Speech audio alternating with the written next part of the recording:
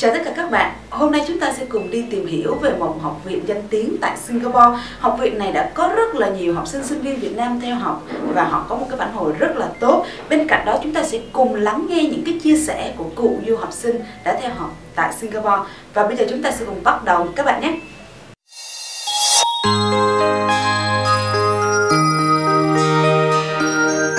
Tại du học Singapore rất là nhiều chương trình và làm sao chọn cho mình một cái chương trình phù hợp với cái sở thích cũng như là cái nghề nghiệp và cái cơ hội sau khi ra trường. Vậy anh Hưng hôm nay sẽ chia sẻ cho chúng ta những cái kinh nghiệm thực tế cũng như là những cái cơ hội việc làm sau khi học tại Kaplan Singapore. Xin chào anh Hưng. Xin chào chị Ly và xin chào các bạn. Thì hiện nay anh Hưng không còn là uh, du học sinh của trường Kaplan nữa mà là đại diện tuyển sinh uh, cũng như là công tác hỗ trợ sinh viên Việt Nam. Thì anh Hưng có thể chia sẻ cho các bạn là cái khả năng sinh viên học xong tại trường cấp lên cũng như là cái cơ hội tìm việc tại Singapore thì như thế nào thưa anh? Vâng ừ. Thì tại cấp lên với chương trình học đa dạng và các bằng cấp uh, được các trường đại học danh tiếng được công nhận trên toàn thế giới cấp cho nên về việc uh, bằng cấp các bạn có thể hoàn toàn không cần phải lo lắng nói về cơ hội làm việc tại Singapore thì cơ hội làm việc luôn luôn rộng mở tới các bạn tuy nhiên các bạn có nắm bắt được nó hay không thì uh, là một vấn đề khác Ờ, một lời khuyên của mình à, đối với các bạn muốn à, tìm kiếm được công việc tại Singapore thứ nhất là các bạn phải luôn luôn tìm hiểu về trường việc làm tại Singapore. Cái thứ hai là các bạn nên tham gia các khóa training tại Kaplan. Tại Kaplan luôn luôn tổ chức cho các bạn những khóa training những khóa đào tạo cho các bạn. Chẳng hạn như là phải đi xin cái cách viết hồ sơ xin việc như thế nào cái kỹ năng phỏng vấn như thế nào và ngoài ra lời khuyên cuối cùng dành cho các bạn đó là các bạn nên tích cực tham gia vào các hoạt động xã hội được tổ chức bởi hội sinh viên Việt Nam tại Kaplan cũng như là hội sinh viên quốc tế tại Kaplan Singapore. Ừ. Thì à, bên trường có những cái sự kiện nào nổi bật cho những cái sinh viên quốc tế tham gia học tại Kaplan không thưa anh? Vâng, hiện tại tại Kaplan Singapore chúng ta có hai hội sinh viên. Đầu tiên là hội sinh viên quốc tế tại Kaplan Singapore tập hợp tất cả các bạn sinh viên tại Kaplan và hội sinh viên thứ hai là hội sinh viên Việt Nam tại Kaplan Singapore. Ừ. Và hai hội sinh viên này với uh, hiện tại tổ chức rất nhiều sự kiện giao lưu không chỉ riêng uh, các các bạn sinh viên trong trường mà giao lưu giữa các bạn sinh viên giữa các trường khác nhau. Đối với lại hội sinh viên Việt Nam tại Kaplan thì các hoạt động chính của các bạn là tổ chức những chương trình xã hội giống như là những chương trình từ thiện hoặc là những chương trình uh, kết nối giao lưu giữa các bạn sinh viên Việt Nam tại những trường khác nhau cho nên khi các bạn theo học tại trường cấp lên Singapore các bạn sẽ không phải lo lắng về việc giao lưu văn hóa sinh viên ở với các cấp lên nói riêng và những trường tại Singapore nói chung. Yeah. Dạ. Thì uh, những cái sinh viên của cấp lên á, có đạt được những cái thành tựu nào tại uh, nổi bật tại Singapore không thưa anh? Ừ. Uh, sinh viên Việt Nam tại cấp lên Singapore hiện tại sau khi tốt nghiệp rất nhiều bạn đã và đang đi làm cho những tập đoàn lớn của Singapore. Nói về thành tựu của các bạn sinh viên đang học tại cấp lên Singapore thì các bạn ít nhiều đã đạt được những thành tựu được công nhận. Chẳng hạn như rất nhiều bạn hiện tại đang là thành viên cũng như là chủ tịch hội sinh viên Việt Nam tại cấp linh và cũng như là hội sinh viên uh, quốc tế tại cấp linh Singapore. Ngoài ra thì tại Singapore chúng ta có một hội những nhà uh, khởi nghiệp trẻ uh, viết tắt là VN 2020 đây là một uh, hội tập trung rất nhiều những anh chị không chỉ theo học tại cấp linh mà theo học tại những trường công nổi tiếng tại Singapore như là NUS, NTU và SMU được gặp nên để tổ chức ra những talk show, những chương trình xã hội và những chương trình workshop dành riêng cho toàn cộng đồng sinh viên Việt Nam, toàn Singapore. Sinh viên cấp lên hiện tại đang nắm giữ rất nhiều vị trí vai trò quan trọng trong hội này. Đặc biệt, cộng đồng sinh viên Việt Nam tại cấp lên hiện tại đang là thành viên chủ chốt của ban liên lạc cộng đồng Việt Nam tại Singapore. Ban liên lạc này là ban liên lạc chính thức, là tổ chức liên lạc chính thức của Đại sứ quán Việt Nam tại Singapore. Và đối với những sinh viên đã tốt nghiệp từ cấp lên Singapore, hiện tại rất nhiều bạn đang đã và đang làm cho những công ty tập đoàn đa quốc gia tại Singapore, ví dụ như là IBM, uh, ờ, Changi Airport Group. Và đồng thời cũng mình cũng là một nhân chứng sống hiện tại đang làm cho cấp lên Singapore. Ngoài ra thì còn rất là nhiều bạn khác hiện tại chẳng hạn như là mình có quen biết được một bạn hiện tại đang làm kế toán viên cho một tập đoàn xây dựng của úc nhưng mà đóng tại singapore. Đồng thời mình cũng biết được một bạn hiện tại đang làm chuyên viên uh, phân tích tài chính cho một ngân hàng tại singapore qua những năm anh Hưng học tập tại Singapore thì anh có thể chia sẻ cho các bạn về cái môi trường cũng như là những cái phương tiện đi lại khi mà sinh viên bước qua Singapore du học được không ạ? Ừ. Thì tại Singapore ừ, hết 70% dân số chúng ta sử dụng các phương tiện công cộng như là xe bus hoặc là tàu điện ngầm MRT. Ừ. Thì với lại uh, do bởi vì hơn 70% dân số sử dụng những phương tiện công cộng cho nên mức phí di chuyển rất là tiết kiệm thì một ngày nếu như các bạn chỉ ờ, đi học và chúng ta di chuyển từ nhà chúng ta lên trường và chúng ta di chuyển ngược lại từ trường về nhà thì chắc một ngày chắc tốn các bạn khoảng chừng 4 đô. Ừ. khoảng 4 đô là tối đa rồi còn về ăn uống thì như thế nào ha? Singapore chúng ta quốc gia đa sắc tộc cho nên việc các bạn uh, thích ăn đồ của châu Á đồ phương Tây ta tới thậm chí cả đồ của châu Phi chắc các bạn không phải lo lắng về việc các bạn phải uh, uh, ngán đồ ăn đâu bởi vì nó có rất là nhiều rất rất rất rất là nhiều những cái món ăn tới từ những nước khác nhau ừ. Ừ. thì uh, ví dụ như trường hợp mà những cái sinh viên uh, qua bên Singapore sinh, thì bên đó cũng là một cái thiên đường mua sắm thì uh, Hưng cũng có thể chia sẻ cho các bạn được không? Singapore đúng thật sự là một thiên đường mua sắm và đặc biệt cho tính tín đồ thời trang chúng ta chúng ta đặc biệt chúng ta phải lưu ý vào những cái tháng hè trong năm tháng từ tháng 6 đến tháng 9 đây là đây là một mùa coi như là đại lễ uh, khuyến mãi tại Singapore với sự với sự giảm giá nhiều khi lên tới thậm chí 70 80 phần trăm.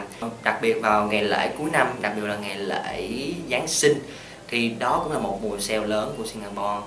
Ừ. cho nên khi các bạn nếu như các bạn lo lắng rằng qua Singapore chúng ta phải mua với những món đồ đắt tiền hay gì đó các bạn đừng lo lắng các bạn chắc chắn sẽ mua được những món hàng hiệu à, với giá rất là rẻ.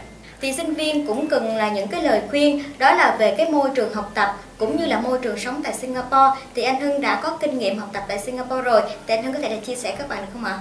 Vâng ạ. Thì đối với kinh nghiệm học tập mình cũng không có gì nhiều để chia sẻ cho các bạn nhưng mà mình chỉ có ba bí quyết mình muốn uh, các bạn khác có vi tâm. Thứ nhất tại Singapore khi các bạn sinh sống các bạn phải tuân thủ nghiêm ngặt luật pháp tại Singapore bởi vì Singapore họ rất rất rất rất tôn trọng luật pháp của họ. Chẳng hạn mà nó chẳng hạn như là khi mà các bạn biết là Singapore là quốc gia sạch nhất thế giới đúng không? Tại sao họ được sạch nhất thế giới như vậy? Bởi vì luật pháp của họ rất nghiêm. Nếu như bạn xả rác chỉ có một lần thôi bạn có thể bị phạt tới 500 đô. Ừ. Thậm chí khi các bạn lên tàu điện ngầm các bạn lỡ mà mang nước uống lên mà để họ bắt được thậm chí có phải phạt lên tới cả ngàn đô. Lời khuyên thứ hai của mình dành cho các bạn là các bạn nên hòa đồng. Các bạn không nên uh, uh, sống quá nội tâm các bạn hãy mở lòng ra làm quen nhiều bạn hơn không chỉ riêng bạn Việt Nam mà những người bạn bè tới quốc tế.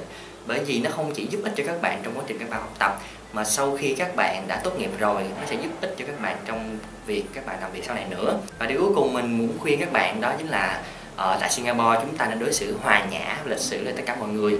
Bởi vì quốc gia Singapore là quốc gia đa sắc tộc cho nên đôi khi có những cái điều khác biệt giữa những văn hóa giữa các nước khác nhau cho nên khi mà chúng ta đối xử với là mọi người chúng ta nên đối xử một cách lịch thiệp hòa nhã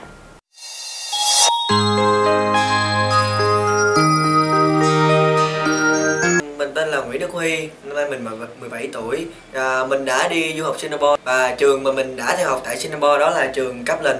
Và trường Kaplan là cũng là một trong những trường nổi tiếng của Singapore về chất lượng giáo dục và cũng về lượng học sinh quốc tế. Thì à, theo mình nghĩ khi mà bước đầu mà đặt chân đến Singapore thì có rất là nhiều bỡ ngỡ và rất là nhiều cái sự lo lắng ở trong uh, mình. Bởi vì uh, mình uh, bởi vì em lúc em đi Singapore là em chỉ đi có một mình thôi và lượng tiếng Anh lúc đó cũng chưa có cao lắm nhưng mà lại đặt chân đến một đất nước mới thì rất là lo lắng trong lòng. Vậy thì cái cảm nhận của em sau cái thời gian sinh sống tại Singapore thì em có cảm nhận như thế nào? À, cảm nhận như đó là một ngôi nhà thứ hai của mình vậy. À, mọi thứ đều rất là thân thuộc và rất là bình dị. À, khi em ở đó thì à, mới đầu á, thì rất là gặp rất là nhiều khó khăn trong cái việc à, di chuyển đi lại. Vì à, mình vừa phải làm quen với lại à, hệ thống xe buýt.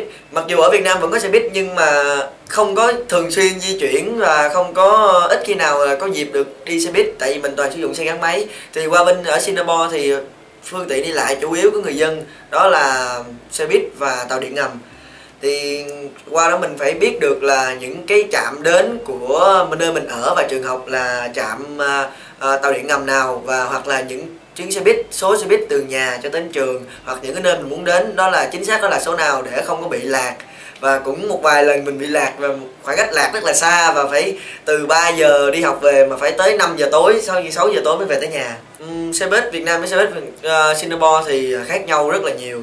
Vì ở Singapore thì xe buýt là hoàn toàn tự động và chỉ có một tài xế và họ chỉ ngồi ở một chỗ chứ không có di chuyển đi lại trong xe buýt và những tuyến đường họ chạy thì họ chỉ chạy dừng đúng trạm. Mặc dù hai trạm có thể là cách nhau à, 20 thước hoặc là 30 thước, nhưng mà người xe buýt đến trạm trước, nhưng mà người khách trên xe muốn đến trạm thứ hai là, nhưng mà người tài xế vẫn không chịu dừng. Tại vì đó không phải là lịch trình chính xác của người ta, thì người ta sẽ không dừng ở đó để đưa những cái chuyến xe buýt vào một cái à, quy định cụ thể để không người dân có thể dễ dàng di chuyển và nó rất là sạch sẽ và máy lạnh thì rất là mát. Mặc dù mới qua thì tốc độ cảm thấy là tại sao trong thành phố nhỏ mà chạy vèo vèo vèo vèo. Nhưng mà đó khi mình đi quen rồi mình cảm thấy đó là một cái lợi. Tại vì mặc dù chạy nhanh nhưng họ chạy rất là an toàn. Và mình có thể không có bị mất quá nhiều thời gian khi mà di chuyển ờ, ở trong thành phố. Ừ. rồi thời gian sống ở Singapore vậy thì em thấy ờ, đồ ăn hay là sinh hoạt ở bên đó như nào? Về đồ ăn thì lúc đầu mình chúng ta sẽ gặp khó khăn về việc ăn uống. Tại vì ờ, đa phần á, ở Singapore nó 60% đó là người Hoa sinh sống. Thì bởi vậy những cái đồ ăn của họ mặc dù nói là người Hoa ở Việt Nam vẫn có người Hoa nhưng mà thức ăn của hai quốc gia đó là khác nhau. Vì uh, họ sẽ ăn những cái món mà mình có thể là đối với bản thân mình á, thì mình ăn chỉ được có khoảng chừng một món trong 10 món của họ thôi. Đó là những cái gà hoặc là vịt. Nhưng mà khi mà các bạn có thể ăn được thưởng thức được hết những cái món ăn của họ thì các bạn sẽ cảm nhận được mỗi quốc gia nó có một cái tinh túy ẩm thực khác nhau và khi đã quen rồi thì ờ, các bạn có thể dễ dàng chọn những cái món ăn thích hợp để thay đổi hoặc là đối với du học sinh đó thì nếu mà các bạn có nhiều bạn, khi mà một thời gian lâu các bạn có nhiều ờ, các bạn ở chung phòng, thì chúng ta có thể ờ, chọn là đi ra siêu thị để mua những cái món ăn về và tự chế biến những món Việt Nam theo sở thích của các bạn và chi phí nó lại rẻ hơn so với các bạn đi ăn ở ngoài. Vậy còn chỗ ở bên đó thì như thế nào? Khi trước khi mình đi á, thì mình nhờ các anh chị bút sẵn cho mình một cái uh, gọi là cái hostel đó là một dạng ký túc xá nhưng mà do ở tư nhân tư nhân đầu tư và không phải thuộc uh, quản lý của nhà trường. Nên cái việc ở trong đó thì nó cũng giống như là các bạn ở trọ vậy thôi nhưng mà ở trong hostel thì nó có tất cả các camera và uh, công nhân ở trong đó họ dọn phòng hoặc là họ dọn những cái nhà vệ sinh vào theo cái lịch trình cụ thể. Nên chúng ta có thể không phải lo lắng đó là ở đông quá không ai dọn thì nó sẽ bị quá dơ hoặc là mất vệ sinh.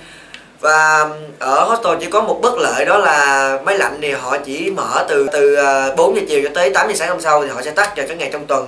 Nên đôi lúc nếu các bạn ờ, được nghỉ học thì có thể nó sẽ hơi nóng. Nhưng mà khi mà các bạn ở quen rồi thì các bạn sẽ không muốn di chuyển ra ngoài bởi vì ra ngoài rất là mất thời gian. Và ở hostel thì nó cũng vui tại vì các bạn có thể ở chung và thường thì mình thấy thì các du học sinh mới qua thì các bạn sẽ chọn ở hostel và các bạn có thể gặp được những người bạn cũ của mình. Nhưng mình mình đã gặp được một bạn ờ, học chung cấp 3 bằng tuổi và các bạn qua đó bạn cũng ở chung hostel với mình và như vậy thì sẽ rất cảm giác rất là vui và đỡ nhớ nhà hơn. Sinh thì về buổi chơi giải trí thì ờ, khỏi phải nói rồi. À, với Universal thì ở Sentosa thì đó là một khu vui chơi à, nếu các bạn ờ, bỏ một số tiền ra các bạn có thể vui chơi cả ngày thoải mái và không phải mất thêm một cái phí nào nữa. Còn về các ờ, thắng cảnh ở Singapore thì khỏi phải bàn. Rất là đẹp và rất là sạch được mọi người ờ, được các ờ, người dân ở Singapore họ giữ ý thức rất là tốt về giữ gìn vệ sinh. Và các công trình được tu sửa thường xuyên nếu mà có một chỗ nào đó hỏng hóc thì họ sẽ tu sửa ngay mà không phải chần chừ sẽ làm mất mỹ quan của thành phố với tư cách là một du học sinh từ Singapore trở về yeah. Dạ. thì em có cái lời khuyên hay là những cái chia sẻ nào dành cho những bạn mà sắp tới lần đầu tiên đặt chân đến đất nước Singapore để du học yeah. Dạ. thì uh, theo như uh, kinh nghiệm của mình á, thì uh, khi mà các bạn lần đầu đặt chân đến Singapore á, nếu mà không chọn có người thân hoặc là không chọn dịch vụ đưa rước thì các bạn nên sử dụng taxi để đi đến nơi mà mình đã book lịch sẵn mà để ở thì uh, các bạn chỉ cần đưa leo lên taxi và đưa cho họ các uh, địa chỉ. Họ sẽ chở các bạn tới tận nơi. Nhưng mà đừng cũng đừng có quá mà tò mò tại sao mà thành phố nhỏ như vậy mà taxi họ lại không thể biết được một cái địa chỉ dễ đến một cái địa chỉ trong thành phố mặc dù thành phố rất là nhỏ. Thì họ cũng không biết đâu tại vì họ toàn sử dụng bản đồ thôi. Bởi vì đường xá ở Singapore thì rất là khó nhận biết đó là đâu là nơi nào và các bạn đang ở đâu. Nên à, hãy sử dụng à, taxi để đi đến nơi chứ đừng có tự mà mò mẫm tới thì các bạn sẽ bị lạc đấy. Với lại à, theo mình á, thì khi mà các bạn nhận phòng á, thì các bạn nên nhờ một bạn nào đó, người Việt, để dịch lại cho mình về các quy định của nơi mình ở, cũng như về cái hợp đồng trước khi mình ký. Bởi vì nó có thể là một điểm bất lợi cho mình khi mà mình không biết và mình có thể vi phạm phải những cái điều mà quy định người ta đã đưa ra khi mà mình không biết tiếng Anh.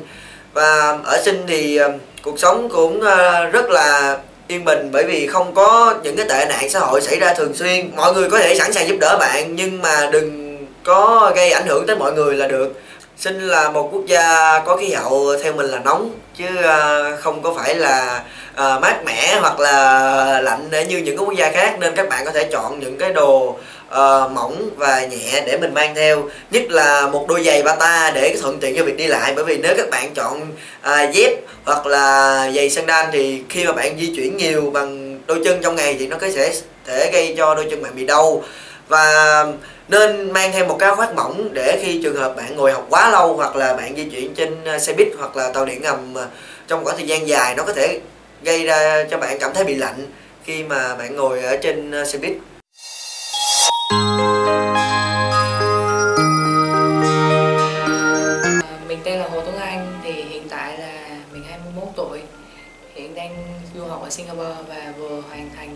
Thành khóa học Thì ờ, à, Tuấn Anh có thể là chia sẻ cho các bạn là à, một cái du học sinh mà bước đầu qua Singapore thì có bỡ ngỡ hay không? rồi thì lúc đầu qua Singapore á, thì nhiều cảm nghiệm lắm. Giống như là xa nhà, nhớ nhà rồi cuộc sống thì lại không có được sự bao bọc của ba mẹ. Nhưng mà được một hai tháng thì bắt đầu thích nghi với cuộc sống bên đó. Thích nghi với lại bạn bè mới những cái cách ăn nói của người ta và những cách thông điệp có nhiều khi thật sự là qua đó nhiều người cũng không biết diễn tả những cái từ ngữ mà mình muốn nói với người ta nên mình phải dùng cái body language.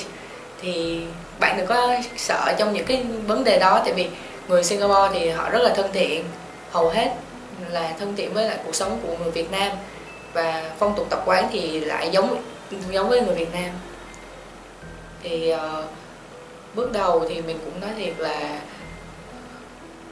trải nghiệm nhiều lắm. Thì đi ăn chơi rồi đi lòng vòng, đi coi Singapore như thế nào.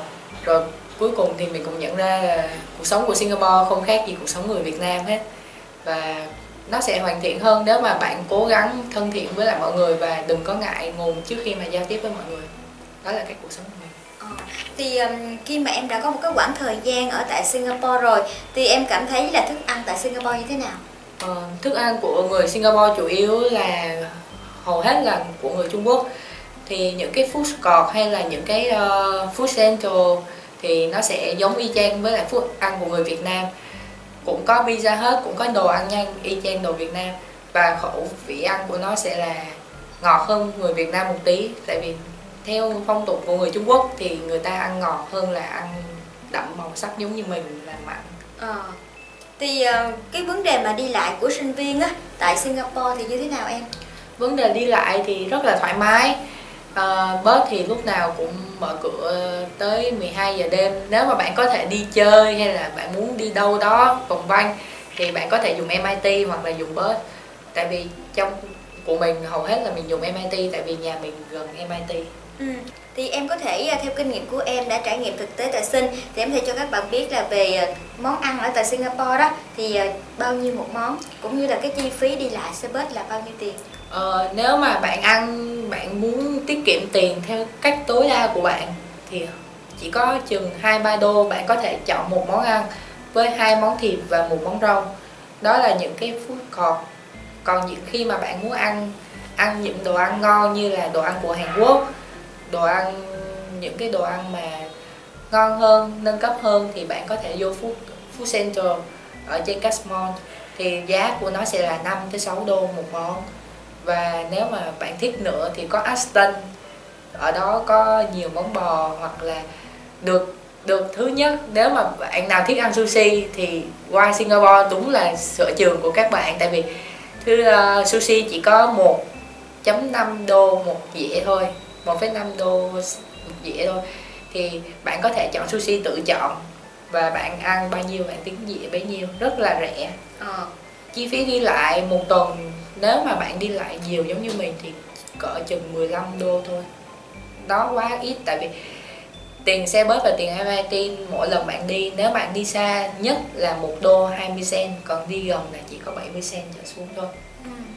Thì uh, hiện tại ở bên Singapore thì em đang ở ký túc xá hay là em đang ở với bạn? Ờ, em hiện tại thì ngày xưa em đã thuê một căn nhà nhưng mà đã thuê một căn nhà và hiện tại em đang ở đó luôn với bạn bè em. Thì nếu mà tính ra nếu các bạn có thể tìm được những nhóm bạn group đi chung với nhau thì sẽ lợi hơn là bạn kiếm nhà. Bạn kiếm nhà thì bạn share ra một căn nhà chỉ chừng 300 tới 400 đô một người thôi thì lúc đó bạn rất là lợi bạn có cuộc sống riêng bạn có không gian riêng và bạn có thể enjoy những cái những lúc mà bạn buồn ở bên đó không phải sợ sợ giống như là bạn ở chung với lại ờ, người ta hoặc người khác thì bạn sẽ bị cập nhật nhiều thứ Ừ. Thì ờ, khi mà trong cái giờ đi học của mình đó thì thường thường á là giờ học ở bên tại trường thì như thế nào? Ờ, theo một cái schedule của trường thì một cái thứ nhất là nó xếp theo thời gian còn lịch của học của mình là chủ yếu là Adventist là buổi chiều thì học từ 1 giờ tới 7 giờ. Bạn có thể ngủ nguyên buổi sáng không sợ bị trễ. Đó là điều lý do mà mình thích. Rồi thì em thấy giảng viên của bên trường như thế nào? giảng viên của trường hầu hết rất là thân thiện với mọi người. Tại vì nhiều giáo viên nếu mà mình không hiểu một cái vấn đề gì đó mình có thể hỏi lại giáo viên và giáo viên có thể giúp bạn trực tuyến hay là ethnic facebook. Bạn đừng có lo nghĩ là bạn học dở rồi bạn như thế nào. Trong thực chân của mình luôn, mình cũng là một học sinh dở. Thì học học đối với mình cũng hơi khó, tại vì chương trình tiếng Anh thì nó sẽ khó tiếp thu hơn, nhưng mà bạn cố gắng, bạn cố gắng bạn sẽ hiểu được cái vấn đề của giáo viên học trên lớp là một chuyện nhưng mà bạn về cố gắng đọc bài của giáo viên hoặc là những cái bài giảng về giáo viên để lại cho mình trước khi thi thì sẽ bạn sẽ làm tốt ờ, chương trình của giáo viên chương trình đó cái term đó. Và bạn có, nếu mà bạn có điểm high smart mình chỉ hầu hết là điểm C với B là mình không học gì. Tại vì do mình là biết cách học giáo viên cho bài bao nhiêu thì bạn cứ học theo đó và bạn ra thi thì chắc chắn nó sẽ ra thi và bạn có dễ được cái bằng graduation của trường. Thì cái dự định của em là ừ, kết thúc cái chương trình ờ, đại học ở tại Singapore. Thì ờ, dự định của em tiếp theo sẽ là như thế nào? dự định tiếp theo của em là tại vì sẽ có mở vào 3 khóa ba khóa của 3 tháng. Sẽ là tháng 3, tháng 7 và tháng 11 nhưng mà mình vừa kết thúc tháng 7 vào chương trình của Advanced Diploma, nên mình không thể tiếp tục được chương trình Bachelor và mình phải chờ tới tháng 11 và hiện tại mình đang ờ, nhận được một cái ờ, confirm của trường là mình đã pass hết tất cả. Thì bạn, nếu mà học từ diploma lên advanced bạn có thể bị, maybe là bạn rớt một môn nào đó, thì bạn có thể học tiếp. Nhưng mà khi mà lên bachelor bạn phải pass hết tất cả các môn đó thì bạn mới được học chương trình. Tại vì chương trình đó là chương trình của úc sẽ là giảng viên của úc dạy không phải là giảng viên của trường sẽ nữa Thì khi tham gia học tại trường thì trường có thường tổ chức những cái event cho sinh viên ờ, để mà tham dự không em? Dạ, rất là nhiều. Một tháng trung bình là 1 tới 2 event. Event mà mình thích nhất là event ngoài biển, barbecue. Thì nó sẽ là tiệc nướng và mọi người sẽ đóng là 5 đồng một người. Bạn có thể cùng thưởng thức chung với lại thầy cô giáo và uống drink beer hay là nếu mà bạn chưa đủ tuổi thì sẽ, thầy cô giáo sẽ không cho bạn uống. Đó là luật lệ của Singapore.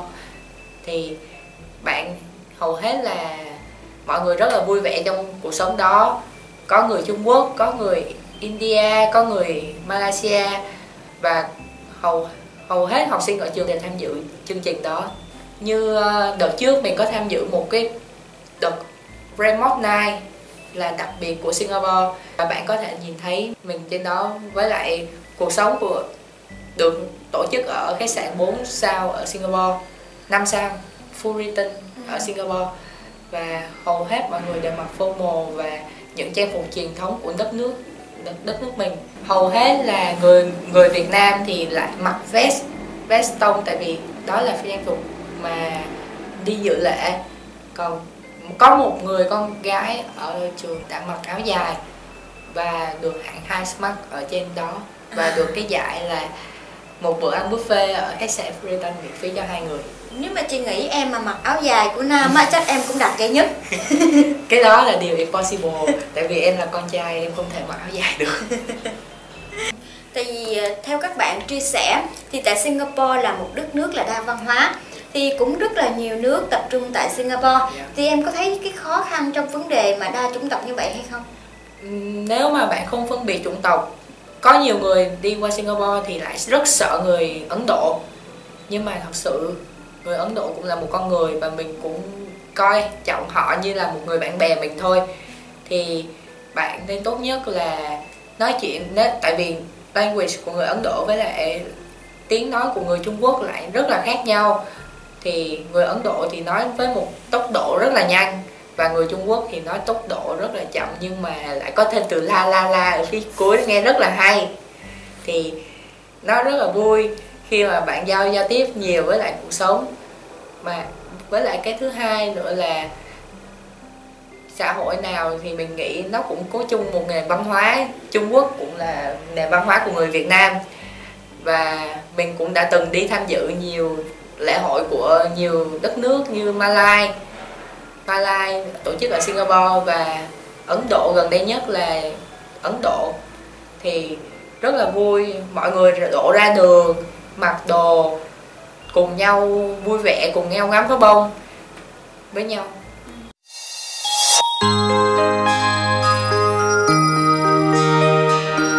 Mình là mình tên là Mai Thị Thanh Hường. Mình đang có kỳ nghỉ hè trong vòng 2 tuần. Mình quay về Việt Nam và mình ghé thăm lại Tân Đại Dương, nơi mà mình đã làm hồ sơ để qua du học, qua xin du học.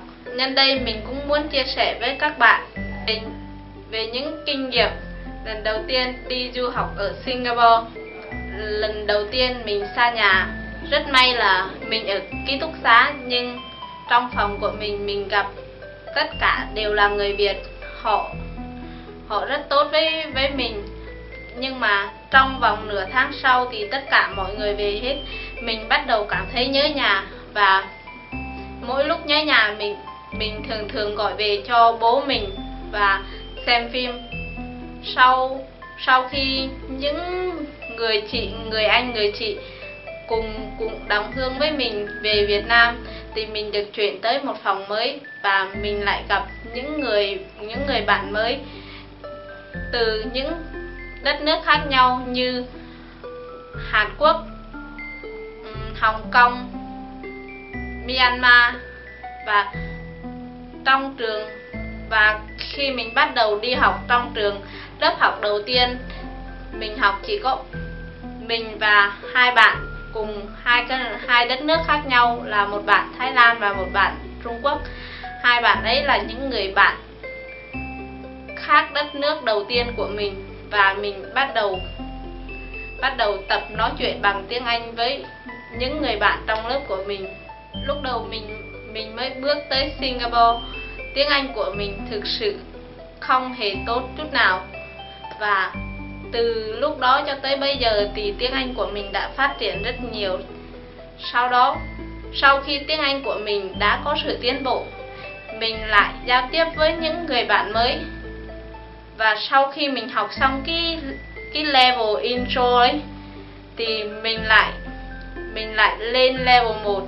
Ở đó thì lại mình gặp lại được nhiều bạn từ nhiều đất nước khác nhau, nhưng phần đa trong trường mình là người Trung Quốc nên nhiều lúc mình cũng học được nhiều từ về Trung Quốc như Ni hao mà and Ni hao so nếu mà bạn cần, bạn bạn muốn cái gì thường thường, người Trung Quốc hỏi bạn là Ni yao mà.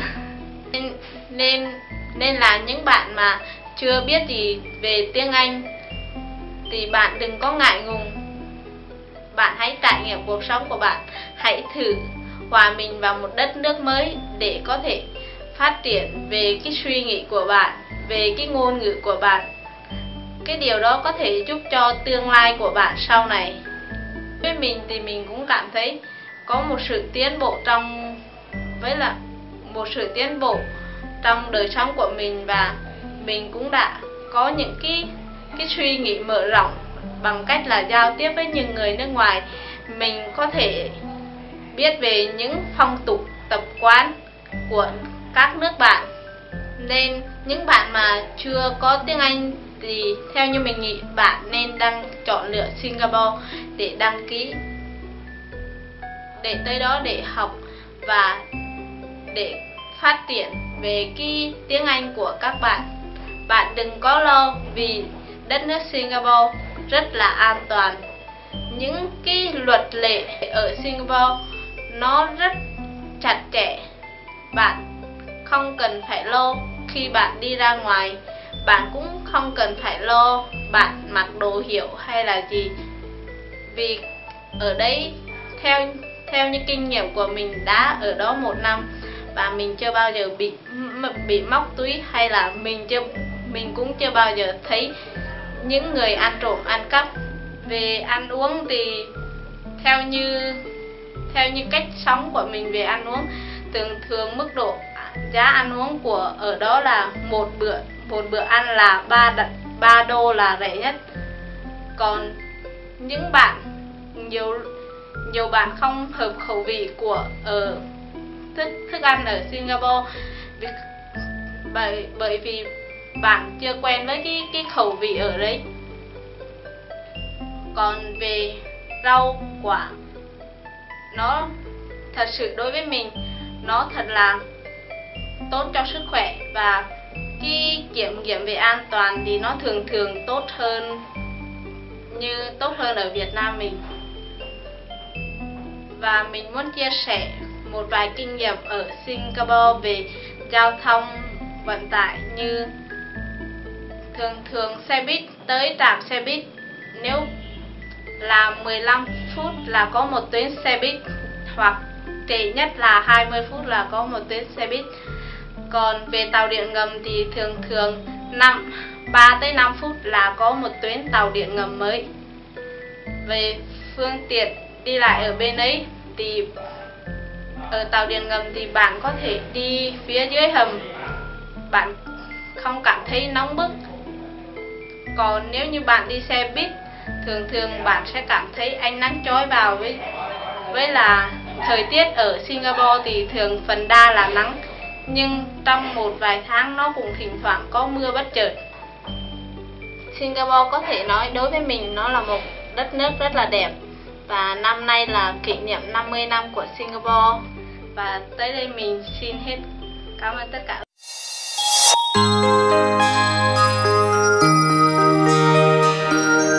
Hiện nay thì cái ngành du lịch khách sạn là được khá nhiều các bạn sinh viên lựa chọn và đặc biệt là các bạn chọn du học Singapore làm cái bước đệm để chuyển tiếp với các nước khác như là Thụy Sĩ hay là Úc chẳng hạn. Thì cái chương trình này là đang là hot thu hút rất là nhiều bạn. Thì không biết là nếu như mà các bạn mà chọn học ở Thụy Sĩ á thì có những cái chương trình nào Lưu có thể giới thiệu cho các bạn? À, thực sự mà nói cái ngành du lịch khách sạn à, ở khu vực Đông Nam Á chúng ta thì là cái đất nước Singapore sẽ là một đất nước nổi trội lên bởi cái ngành đó và một cái nôi của ngành du lịch khách sạn nữa đó là đất nước Thụy Sĩ. Chính vì vậy khi chúng ta chọn cái lộ trình học ngành du lịch khách sạn tại Singapore rồi chuyển tiếp qua Thụy Sĩ đó là một lựa chọn rất là hoàn hảo dành cho tất cả các bạn muốn theo đuổi cái ngành công nghiệp không khói này cái ngành dịch vụ. Thì uh, Thụy Sĩ được biết đến giống như là cái nôi của ngành ẩm thực du lịch nhà hàng khách sạn. Đây là nơi được đào tạo ra rất là nhiều các nhà quản lý xuất sắc trong ngành được là, làm việc rất là nhiều quốc gia trên thế giới vì thế, cái nơi đây đã và đang trở thành cái điểm đến đáng mơ ước của rất là nhiều học sinh sinh viên có đam mê trong lĩnh vực du lịch và khách sạn. Tuy nhiên, một điều cần lưu ý là phí của thị Sĩ thì nó là rất là đắt đỏ. Và đi du học Singapore ngành du lịch khách sạn, sau đó chúng ta sẽ dùng cái bàn đạp ở Singapore đó để chuyển tiếp qua Thụy Sĩ để tiết kiệm chi phí, rút ngắn thời gian đang được các bạn lựa chọn rất là nhiều. Nó như là một cú cánh dành cho tất cả các bạn. Vậy thì nghĩa là các bạn sẽ học ở Sinh Rồi sau đó thì các bạn sẽ chuyển tiếp qua Đúng. Thụy Sĩ để học tiếp cái chương trình đại học đúng rồi Đúng không? Vậy thì Lưu giới thiệu chi tiết về cái lộ trình mà các bạn sẽ học như thế nào Là học ở Sinh thời gian bao lâu Và chuyển tiếp qua Thụy Sĩ thì sẽ học bao lâu À, khi các bạn học cái chương trình chuyển tiếp này nó có một cái đặc điểm lợi ích là những cái gì chúng ta đã học tại Singapore đều được công nhận hết ở bên Thụy Sĩ và cái lộ trình học là khi các bạn hoàn thành chương trình cao đẳng du lịch khách sạn 8 tháng tại Học viện Kaplan Singapore sau đó chúng ta sẽ chuyển tiếp sang chúng ta chỉ cần học năm cuối chương trình cử nhân tại Học viện BHMS của Thụy Sĩ với 6 tháng học lý thuyết sau đó chúng ta sẽ có từ 4 tới 6 tháng thực tập hưởng lương với mức lương quy đổi ra tiền Việt nó sẽ tương đương với khoảng cỡ 58 triệu Việt Nam đồng một tháng Wow một cái mức lương phải nói là rất là Đúng, cao đúng, đúng. không? Thì à, nếu như vậy thì tính ra nếu mà du học Thụy Sĩ thì chi phí nó đắt đỏ nhưng mà bù lại mình được đi thực tập thì cái chi phí thực tập đó nó không hề nhỏ đúng rồi cái chi phí thực tập nó rất là cao nên là cũng thể là giúp các bạn trang trải trong cái thời gian mà học ở đó thì cũng tiết kiệm được khá là nhiều đúng không? đúng đúng Ừ. vậy đúng vậy Vậy thì cái bằng cấp mà sinh viên sau khi mà học xong cái khóa học đó thì các bạn nhận được là do các trường đại học nào cấp hay là do cái trường BHMS của Thụy Sĩ cấp luôn? À, khi ờ, các bạn ờ, tham dự cái chương trình cử nhân khóa du lịch khách sạn tại học viện BHMS thì các bạn sẽ nhận được bằng cho trường đại học đối tác cấp bằng đó là trường đại học Robert London của Anh cấp bằng. Thì với cái lộ trình học này sẽ giúp các bạn du học sinh tiết kiệm được chi phí đáng kể mà vẫn lấy được cái bằng cấp của trường đại học danh tiếng cùng với cái cơ hội trải nghiệm học tập và làm việc tại hai quốc gia có nền giáo dục về du lịch khách sạn phát triển thuộc là nhất trên thế giới.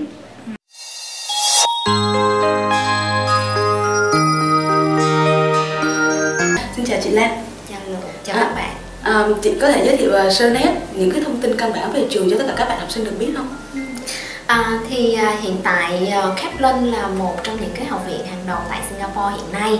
Ờm, à, theo một cái khảo sát à, mới đây nhất của Job Central à, thì Kaplan đứng à, thứ nhất trong cái bảng xếp hạng được đánh giá là học viện được lựa chọn hàng đầu tại Singapore hiện nay à, và Kaplan đã liên tục đứng trong cái vị trí đầu tiên này từ năm 2012 cho đến năm 2013. um, hiện tại thì Kaplan có hai khu học xá nằm ngay tại trung tâm của Singapore à, rất là thuận tiện cho các bạn khi mà đi học cũng như là lựa chọn chỗ ở cho mình à, về những cái chương trình đào tạo thì Kaplan có rất là nhiều à, chương trình đào tạo rất đa dạng cho các bạn lựa chọn từ những chương trình rất là phổ biến như là kinh doanh thương mại marketing hay là những cái chương trình mà à, gần đây trở thành một trong những cái ngành hot như là truyền thông à, hoặc là kể cả những cái chương trình cao hơn như là thạc sĩ. À, đối với những cái chương trình cấp bằng thì hiện tại Kaplan làm việc với những cái đối tác rất là uy tín trên thế giới. Một số những cái trường đại học có cái xếp hạng rất là cao trên thế giới như là trường đại học quốc gia Ireland hay còn gọi là University College Dublin. À, trường đại học um, công lập của Úc Murdoch University hoặc là Royal Holloway thuộc hệ thống University of London. Thì uh, vừa rồi á, chị có nói về cái chương trình thạc sĩ của trường thì bây giờ chị có thể nói rõ hơn về các chuyên ngành học của cái bậc thạc sĩ cũng như là các điều kiện cần và đủ để các bạn có thể theo học cái ngành thạc sĩ của mình. Ừ. Thì ờ, đối với chương trình ờ, thạc sĩ của mình thì chúng ta cũng có một số chuyên ngành để lựa chọn. À, các bạn có thể chọn những cái chuyên ngành à, chúng ta gọi là tổng quát ví dụ như là thạc sĩ về quản trị kinh doanh ở đây là một trong những cái ngành rất là phổ biến đặc biệt là sinh viên Việt Nam của chúng ta hay lựa chọn hay là những cái chương trình về chuyên ngành nếu như các bạn muốn đi sâu vào một cái chuyên ngành nào đó ví dụ như là về tài chính hoặc là về quản lý uh, nói chung Ừ. Thì ờ, đối với chương trình uh, thạc sĩ đó là một trong những cái chương trình uh, phổ biến là thạc sĩ về quản trị kinh doanh. À, thì ờ, cái điều kiện ờ, của chúng ta chỉ có hai điều kiện mà thôi. Đó là cái điều kiện học tập thì chúng ta cần phải có à, bằng đại học hay còn hay nói chung là chúng ta sẽ tốt nghiệp đại học ở Việt Nam trước. Cái điều kiện thứ hai đó là cái điều kiện về tiếng Anh thì chúng ta cần có IELTS 6 chấm và không có điểm kỹ năng nào dưới 5.5 À, còn về cái điều kiện tiếng Anh thì uh, sinh viên Việt Nam có một cái hạn chế về cái chương trình uh, tiếng Anh không có được giảng dạy uh, tốt lắm tại Việt Nam thì uh, bên cấp lần có cái chương trình gì hỗ trợ về cái khả năng Anh ngữ cho các bạn hay không? Ừ. À, thì uh, nếu như mà các bạn cảm thấy là cái thời gian học tiếng Anh của mình ở Việt Nam không có giúp được nhiều vì cái môi trường thì các bạn có thể đến Kaplan để học cái chương trình tiếng Anh ở Kaplan chúng tôi có những cái chương trình tiếng Anh uh, ngắn hoặc dài hạn để hỗ trợ thêm cho các bạn à, đối với những cái bạn nào chúng ta chưa đủ điều kiện để đi du học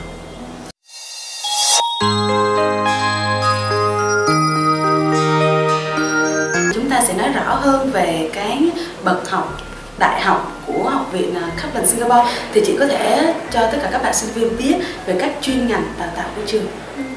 À, đối với chương trình đại học của Kaplan thì hiện tại Kaplan có rất là đa dạng chương trình học dành cho các bạn sinh viên Việt Nam của chúng ta. À, hiện tại thì Kaplan có những cái chương trình rất là phổ biến mà sinh viên Việt Nam của mình hay được chọn ví dụ như là những cái chương trình về thương mại như là về quản trị kinh doanh, về kinh doanh quốc tế, về marketing à, về ờ, nhân sự hay là một số những cái ngành mà gần đây được các bạn lựa chọn rất là nhiều à, như là truyền thông nè quảng cáo hay là quản à, quan hệ công chúng chẳng hạn à, và có những cái ngành um, sẽ phát triển trong tương lai như là quản lý bán lẻ à, quản lý cung ứng hậu cần hay là trợ lý pháp lý. À, về cái điều kiện nhập học mà cho từng chuyên ngành thì như thế nào chị ạ? Thì hiện tại Kaplan có một cái điều kiện nhập học chung cho tất cả các chương trình uh, cử nhân hiện nay. Đó là chúng ta cần phải có hai ít nhất hai điều kiện. Thứ nhất chúng ta cần phải tốt nghiệp phổ thông trung học tại Việt Nam nếu như mà chúng ta chưa tốt nghiệp phổ thông trung học tại Việt Nam thì chúng ta sẽ trải qua một cái chương trình đó là chương trình dự bị đại học điều kiện thứ hai của các bạn đó là IELTS 5.5 hoặc là chúng ta sẽ hoàn tất chương trình level 5 của Kaplan tại Singapore. Ừ, vậy thì ờ, chị có thể chia sẻ thêm về cái ngành nào hiện nay đang rất là nhiều các bạn học sinh theo học cũng như là cái ngành nào chị nghĩ là nó sẽ phát triển hơn ở trong tương lai? Hiện tại thì như lúc nãy chúng ta cũng có biết sơ qua về những cái chương trình đào tạo của Kaplan à, thì đối với sinh viên Việt Nam của mình thì à, những cái ngành à, phổ biến hiện nay đa phần là những cái ngành thuộc về lĩnh vực thương mại như là về à, à, finance hay còn gọi là tài chính ừ.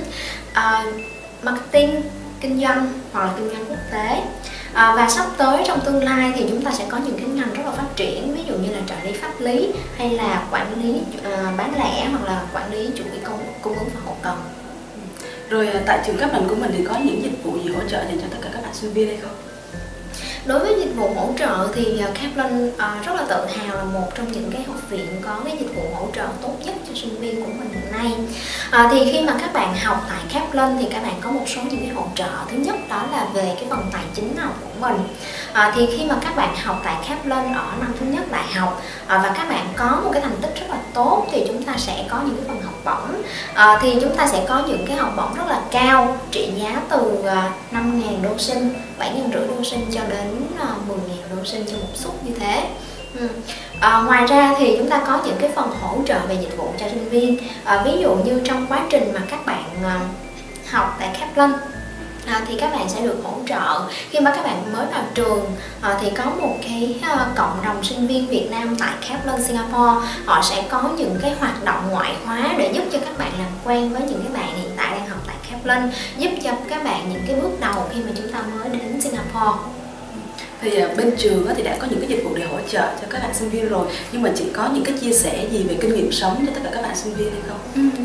À, về chia sẻ thì à, thật ra khi mà chúng ta đi du học ở bất cứ quốc gia nào thì chúng ta cũng rất là quan tâm đến à, cái việc là à, khi mà chúng ta đến thì chúng ta sinh sống như thế nào chúng ta à, hoạt động như thế nào ở đất nước này à, thì ở Singapore nếu như mà các bạn đã từng tìm hiểu những cái thông tin của Singapore qua những cái phương tiện như là tạp chí hay là à, thông tin đại chúng thì chúng ta sẽ biết là uh, Singapore rất là giống rất là tương tự như là thành phố Hồ Chí Minh của mình. Cho nên uh, chúng ta không có cần phải uh, chuẩn bị nhiều về quần áo bởi vì chúng ta có thể sử dụng những cái quần áo hiện tại của mình.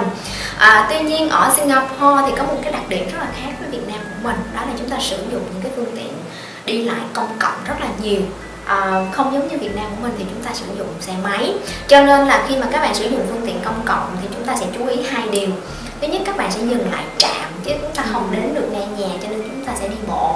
Thì um, chúng ta đi bộ thì chúng ta cần chuẩn bị những cái đôi giày rất là êm ái để là mình không có cảm thấy khó chịu khi mà đi lại. Thứ hai nữa là về cái thời tiết thì um, khi mà mình đi bộ như vậy thì sẽ có mưa hoặc là nắng thì chúng ta nên chuẩn bị một cái dù Ừ.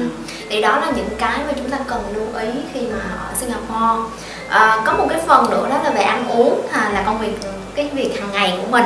Thì um, ăn uống thì thật ra ở Singapore các bạn cũng thường hay nghe Singapore là thiên đường về ăn uống cho nên các bạn có thể tìm bất cứ cái loại thức ăn nào tại Singapore. À, và khu vực xung quanh trường của chúng ta có rất là nhiều quán ăn ngon cho nên chúng ta không có cần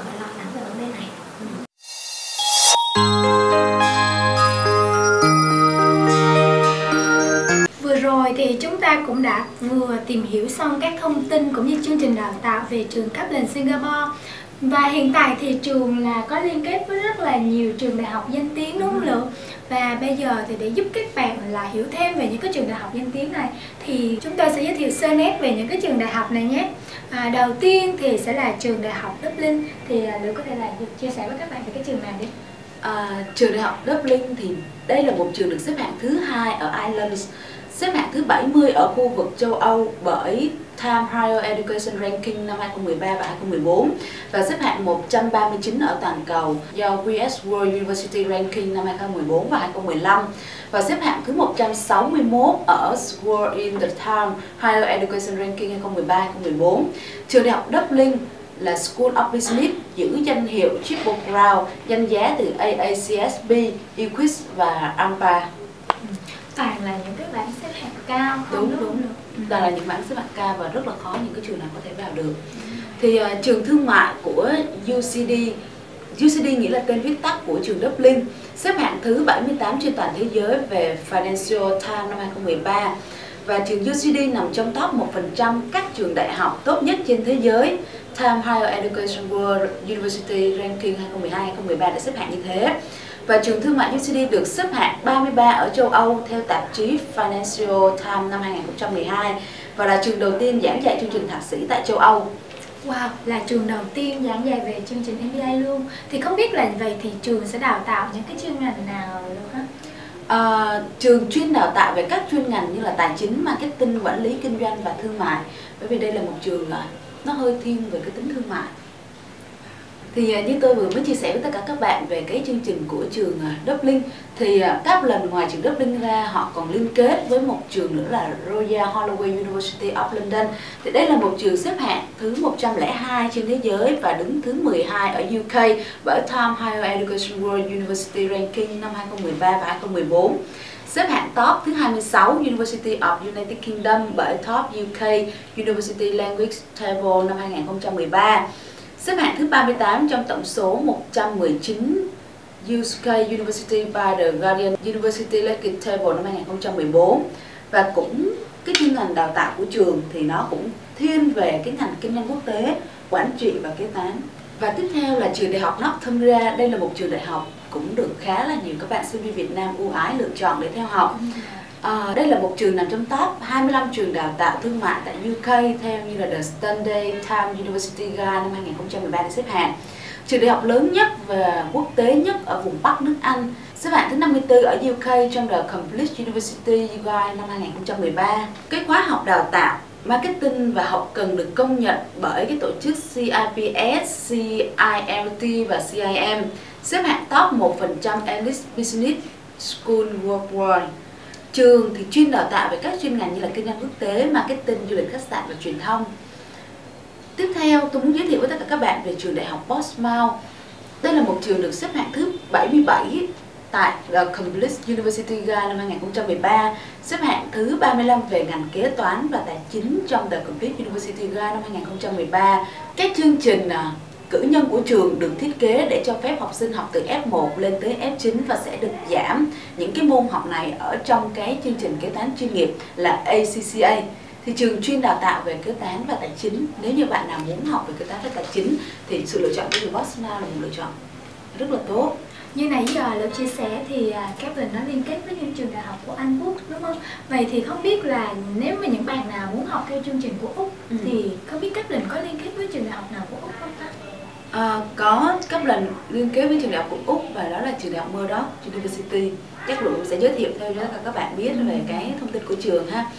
Thì uh, trường nằm trong top 2% các trường tốt trên thế giới được xếp hạng bởi Time Higher Education World University Ranking năm 2012 và 2013 là trường đại học Úc duy nhất đạt được chất lượng 5 sao về sự hài lòng của sinh viên sau khi tốt nghiệp à, trong suốt 13 năm liền và cái chương trình học của trường được thiết kế khá là đặc biệt khi có một cái khi trường đã cung cấp cái khóa học chuyên ngành kép kép ở đây nghĩa là sao kép ở đây nghĩa là cùng một thời gian học cùng một mức học phí mà các bạn được học hai chuyên ngành song song với nhau điều này sẽ rất là hỗ trợ tốt cho tất cả các bạn sau khi tốt nghiệp bởi vì có những hai cái chuyên ngành nó sẽ hỗ trợ nhau. Và cái chuyên ngành kép này thì cái cơ hội việc làm sau khi ra trường của các bạn cũng sẽ cao cao hơn, đúng không? đúng Sẽ học một cái cái à, lĩnh vực mà các bạn chọn thì nó cũng sẽ dễ hơn bởi vì có rất là nhiều học sinh họ đang phân vân giữa hai chuyên ngành này. Không biết nên lựa chọn cái chuyên ngành nào.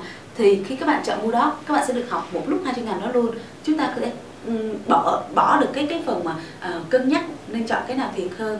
Ừ. Vậy thì à, à, chắc chắn là bây giờ các bạn sẽ thắc mắc là liệu trường này nó sẽ dạy những cái chuyên ngành kép nào? Thì liệu chia sẻ được cái này cho mấy bạn đi. À, cái chuyên ngành kép của trường thì gồm có như là quản trị du lịch khách sạn và quản lý nhân sự quản trị kinh doanh marketing tài chính ngân hàng marketing quản trị kinh doanh rồi kế toán tài chính ngân hàng kinh tế marketing quản trị. Nói chung là những cái chuyên ngành đó chúng ta có thể mix lại với nhau được. How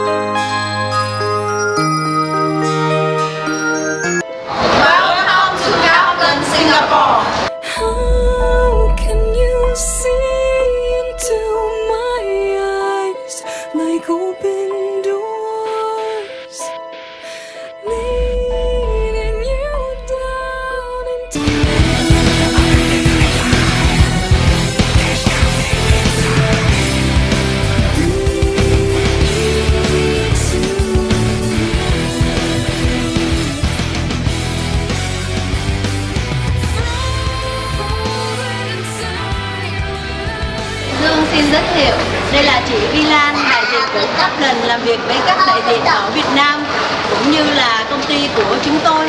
Xin chị Vi Lan giới thiệu về trường Kaplan có những chương trình gì à, để dạy cho học sinh và những chương trình trình gì nó là nổi bật nhất ở trường. À, cảm ơn uh, chúng ta cũng xin cảm ơn công ty uh, tư vấn du học uh, Lạc Dương đã quan tâm đến chương trình khép lên. À, thì hiện tại đối với khép lên thì chúng ta sẽ có rất là đa dạng chuyên ngành cho các bạn sinh viên Việt Nam. Um, hầu hết những cái chương trình của Phát Linh thì à, chủ yếu sẽ dành cho những bạn chúng ta tốt nghiệp và lớp 12 hoặc là đang học những chương trình à, phổ thông trung học tại Việt Nam. Đối với chương trình à, dành cho cái bậc uh, đã tốt nghiệp high school thì chúng ta sẽ có những cái chương trình từ cao đẳng cho đến cử nhân và thậm chí là đến thạc sĩ. à, riêng đối với những bạn chúng ta đang học chương trình uh, uh, phổ thông trung học tại Việt Nam uh, thì chúng ta vẫn có thể đến học tại Đức Lên bằng những uh, chương trình dự bị hoặc là tiếng Anh uh, để trau dồi thêm kỹ năng của mình thì thế mạnh của những chương trình của Đức Lên là gì? Đó là cái chương trình uh, rất là ngắn dành cho các bạn sinh viên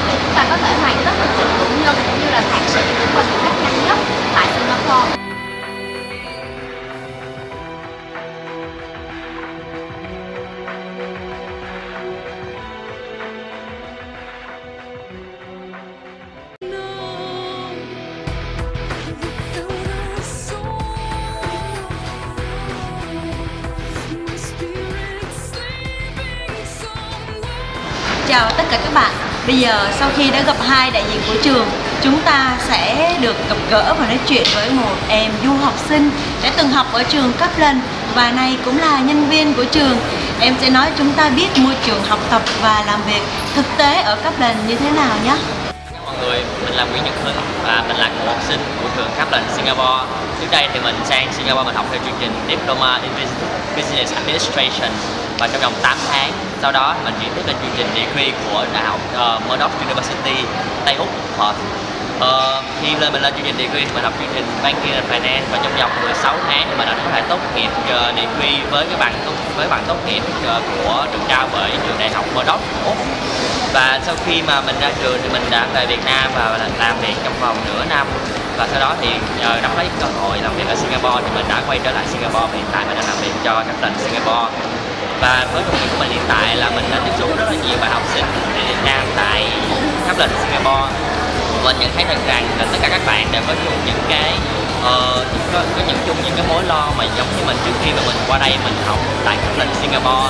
Bởi bởi chính vì như vậy mà nó tạo cho mình một cái động lực khiến cho mình cảm thấy rất là muốn khi mà làm việc tại các lịch này mình có mình có cái hoài bão mình muốn giúp tất cả các bạn học sinh.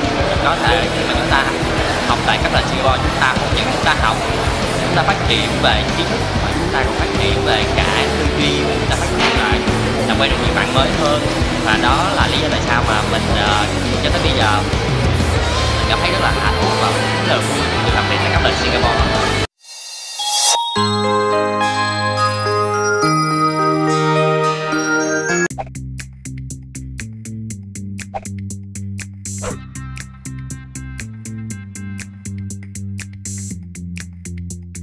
Singapore has many names the Lion City, the Garden City, even the Little Red Dot. But since coming to Kaplan, I just call it home.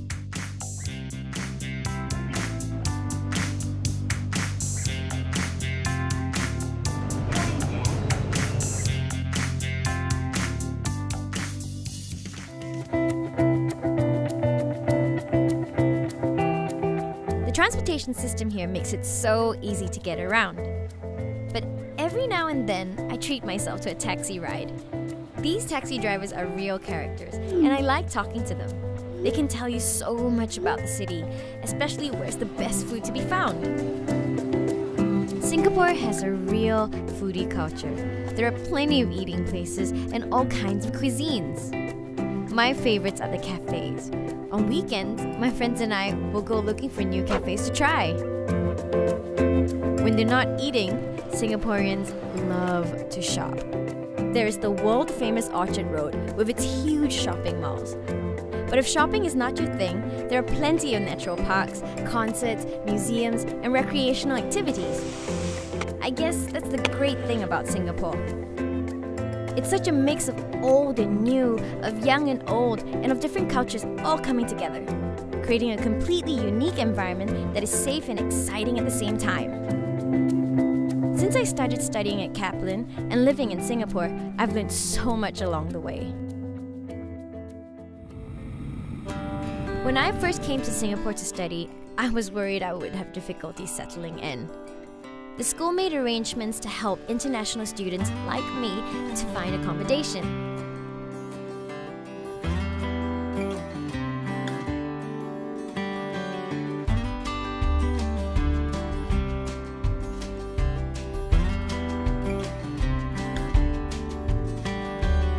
I like my neighborhood. The thing about living in Singapore is that everything is so convenient.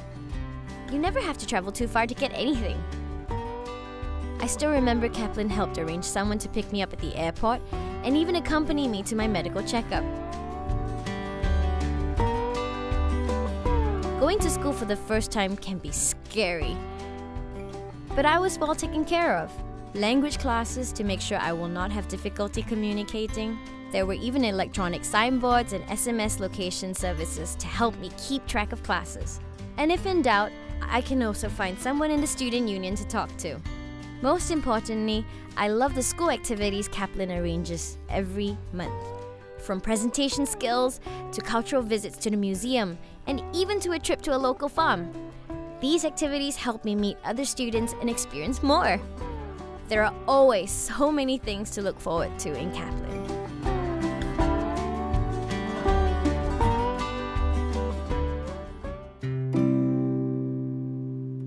I spend most of my time studying, so the Kaplan campus has become my home from home. I love the fact that everything I need for my education can be found on campus. The classrooms are bright and spacious. We have easy access to the school's computer labs and library. And whenever we have free time, my friends and I hang out at the student lounge. Kaplan also believes in providing a safe and conducive learning environment. It also doesn't hurt that the campus is really central and is easy to get to.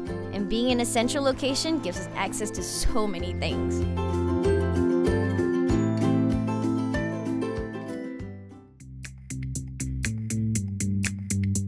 The courses at Kaplan are really diverse, and they partner with some amazing universities, so you know you're getting the best possible education. They've won tons of awards too.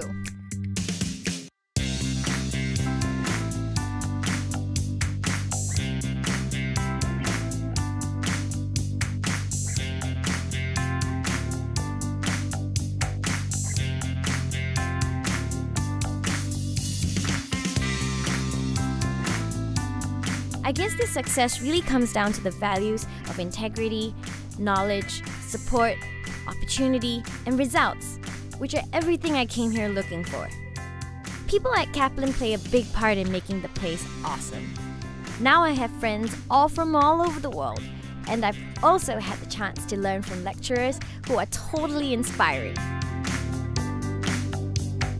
I really like the Singapore Kaplan because it's got really good facilities and then friendly staff. Singapore is a uh, country with a diversity in the culture and then uh, there's a lot of uh, foreign students in Kaplan and that's how I get used to the life in uh, Singapore. I find that Kaplan is very helpful and dedicated to students. Before I came here, Kaplan helped me to find accommodation through email and I can select um, the best one that I think it is good for me. I really enjoy my classes and I have to say that all our lecturers are really helpful. The lecturer is graduate from the top university and they have a working experience, so there are really a lot of things to learn from them. Teacher, the way he teaches is just amazing. Uh, ex- he explains really, really clear and you can understand everything and in a really short time. I would uh, highly recommend uh, Kaplan for my friend and also my family. There are a lot of choices of uh, study education in Kaplan. And I just like it and enjoy to live here with my friends. When you study in Singapore and after graduate in Singapore, when you have a working experience in Singapore, it'll be really good for your career. And after go back to your country, it'll be really good for you. I'm very happy and excited to get a scholarship from Kaplan. It is also a motivation for me to study better in the degree and get a higher education in Kaplan. I choose to study at Kaplan because among all other private schools in Singapore, uh, Kaplan have a high re- reputation for the private school. Don't even think about it, just go for it.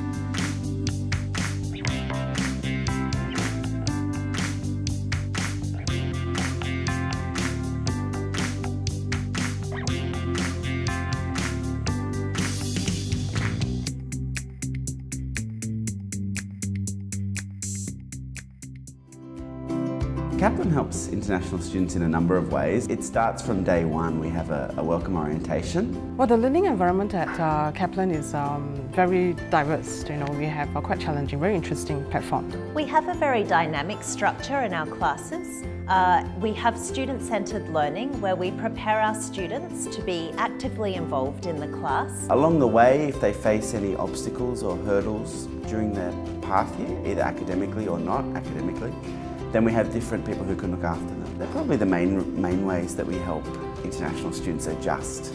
What I like about teaching in Kaplan is the diversity of students I get. The English language helps us uh, to prepare our students with their academic ability in English language. Once they are up to a certain level in their English, they're able to proceed through into Certificate of Foundation Studies. At uh, diploma level, uh, we will equip our students with all the theories, uh, basic knowledge of what they need to do. Uh, and when they move on to degree level, they will apply all the skills they have learned at the diploma level and put it into practical use. For example, like uh, MedCamp. Uh, MedCamp essentially is uh, Make a Difference campaign, where uh, the degree students will have a chance to um, work with a real client uh, on a particular issue and then uh, have a chance to actually hone their skills uh, to show the difference about how communication can actually make a difference. Critical thinking is a new one. This is where students are actively engaged and have some self-responsibility uh, in their studies to question what they're learning and the information around them. It has always been a motivating factor for me to go into class and communicate with them because they always bring fresh perspective to me.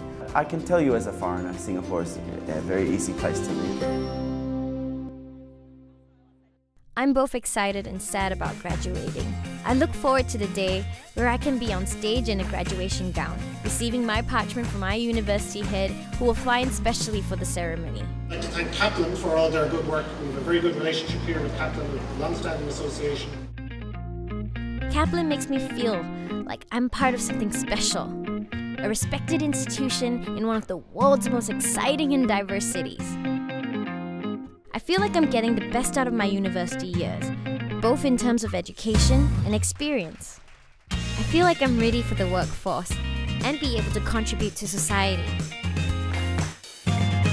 I feel like my future is beginning now.